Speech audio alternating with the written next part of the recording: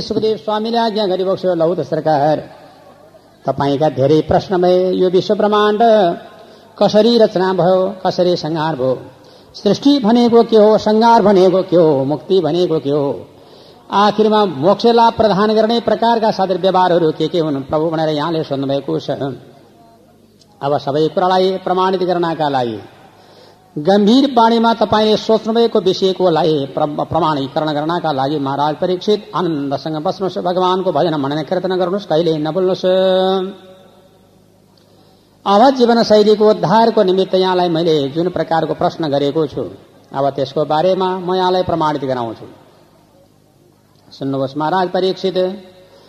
अब तन्त्र मन्त्र यन्त्र शक्तिको प्रभावबाट जीवन मुक्तिको उद्धारको निमित्त मैले यहाँलाई जुन प्रकारले व्याख्या गरेको छु। अब त्यस विषयमा प्रमाण गराउनुहोस् महाराज परीक्षित त्यस्तै प्रकारबाट शाश्वत ब्रह्मज्ञानको उपदेशको बारेमा पनि यहाँलाई म प्रमाण गराउँछु राजा परीक्षित सुन्नुहोस् ब्रह्म देव परमात्माले निर्णय गरी बक्सिएको के छ भनेदेखि एक नम्बरमा सृष्टि। चतुश्लोक भागवतको आधारमा निर्माण गरेको छ चतुश्लोक भागवतको निर्माण कस्तो छ चतुश्लोक भागवत। ज्ञानम परम गुह्यम्य यदि विज्ञान समन्वितम सरहंस तदङ्गम च गृहणम गदितम मया। श्री भगवान वाच भगवानले आज्ञा गर्नुभयो यो विश्व ब्रह्माण्ड सारा सम्पूर्ण मेरो महाराज ज्ञान दुई किसिमका हुन्छन् एउटा ज्ञान, शास्त्रोक्त ज्ञान एउटा ज्ञान, अब ज्ञान दुई किसिमको एउटा आध्यात्मिक विषयबाट शास्त्रोक्त ज्ञान। अर्को ज्ञान भनेको अनुभवको ज्ञान। शास्त्रको ज्ञान भनेको शास्त्रले यो गर्न हुन्छ यो गर्न हुन्न यसो गरे यसो हुन्छ यो गरे यो हुन्छ। न्याय सत नीति नियम यो जब आ शास्त्रको ज्ञान। अनि त्यसपछिबाट कानुन सम्मतको ज्ञान भन्ने विषयका लागि अब अर्को ज्ञान हुन्छ अनुभवको ज्ञान। अनुभवको ज्ञान भनेको के हो? यो कुरा गर्नुहुन्छ यो कुरा गर्नु हुँदैन यो गरे यति सजाय हुन्छ भन्ने कुरामा भन्दा शरीरले छोएर जान्ने शरीरले खाएर जान्ने जस्तो तितो पिरो अमिलो टर्रो गुलियो नुनिलो आदि यो खाएर जान्ने छोएर जान्ने जुन चिसो तातो आदि आदि जो हो यी चाहिँ ज्ञान। यसरी दुई किसिमका ज्ञानहरू हुन्छन्। एउटा ज्ञान शास्त्रोक्त ज्ञान एउटा ज्ञान आध्यात्मिक विषयको प्रभावबाट अनुभवात्मक ज्ञान। यी दुईटा ज्ञानलाई कहिले नबोल्नु त्यसमध्येमा राजा परीक्षितको परमा सुखदेव स्वामीले बडा प्रेमपूर्वक आज्ञा गरी बक्सेको छ तन्त्र शक्ति, यन्त्र शक्ति, मन्त्र शक्ति, ध्यान शक्ति। यसमा विशेष रूपमा परमात्माको महिमाको बारेमा कहिले नबोल्नु भनिकन राजा परीक्षितलाई सुखदेवले बताउनुभयो। र यसै प्रभावबाट संसारमा सबभन्दा ठुलो हरे भुल्न हुँदैन। गाउनलाई भुल्न हुँदैन। हरे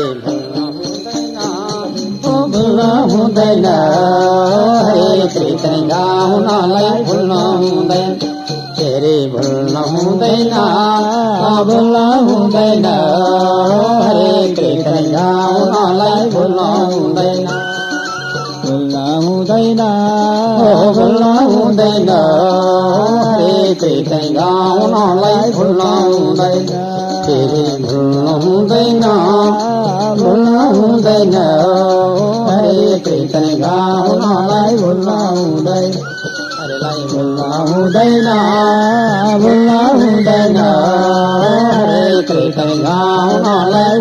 हुँदैन सबले भुल्न हुँदैन भुल्न हुँदैन हरे कृष्ण गाउनलाई भुल्न हुँदैन फेरि भुल्न हुँदैन भुल्न हुँदैन हरे गाउनलाई भुल्न हुँदैन प्रभु हरे कृष्ण गाउनलाई भुल्न हुँदैन हरे गाउनलाई भुल्न हुँदैन महाराज परीक्षितलाई सुखदेवले बताउनुभयो अब बाँकी अंशका लागि तपाईँ के सुन्न चाहनुहुन्छ भनेर सौनकादीलाई पौराणिक सूत्रले निर्णय गर्नुभएको छ।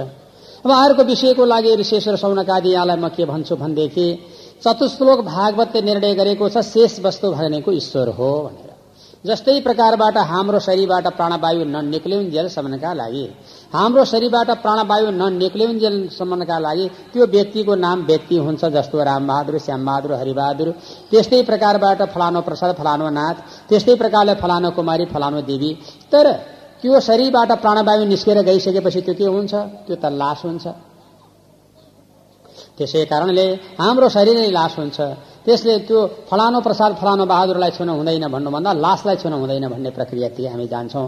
यसैले गर्दाखेरिमा सम्पूर्णभन्दा शरीरलाई जब यो अन्तिम शेष वस्तु भनेको ईश्वर हो त्यो शेष वस्तुलाई कहिल्यै नबिर्सनु। शेष वस्तु भनेको अन्तिमको शरीरको श्वास हो। श्वासलाई नै जान्न चिन्न जान्न सक्यो भनेदेखि त्यो व्यक्ति पारमार्थको श्वासलाई भुल्नु हुँदैन। यसरी नै स्वास्थ्यलाई विचार गर्नु।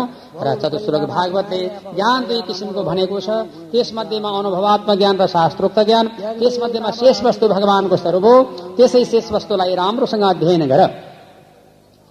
र भगवान परमात्माले यो प्रकारको निर्णय गर्नुभएको छ कि नृत्यार्थ प्रत्येत न प्रत्येत चात्मनि, तद्विद्या आत्मनो माया यथा भाषो यथा तब भगवान भन्नुहुन्छ, महाभूत संसारको सृष्टि स्थिति र लय र संहारलाई परिमार्जित गर्न सक्ने महान प्रखर र कर्तव्यमाथिको बोधलाई पनि कहिले नभुलिकन सिद्धान्त त स्वरूप ईश्वरमाथिको प्रेम जागा रूपमा लिएर जानु। शेष वस्तु नै भगवानको स्वरूप हो है त बाबु। भनिकन राजा परीक्षितलाई सुखदेव स्वामीलाई ज्ञान गरिबक्छु र अब अन्तिममा धर्म संस्कृति अर्थात केवल पारमार्थ लाभको लगी में प्रश्न गर्दै हुनुहुन्छ भन्ने सम्बन्धको कथा यस अध्यायबाट श्री कृष्ण गोविन्द हरे मुरारी।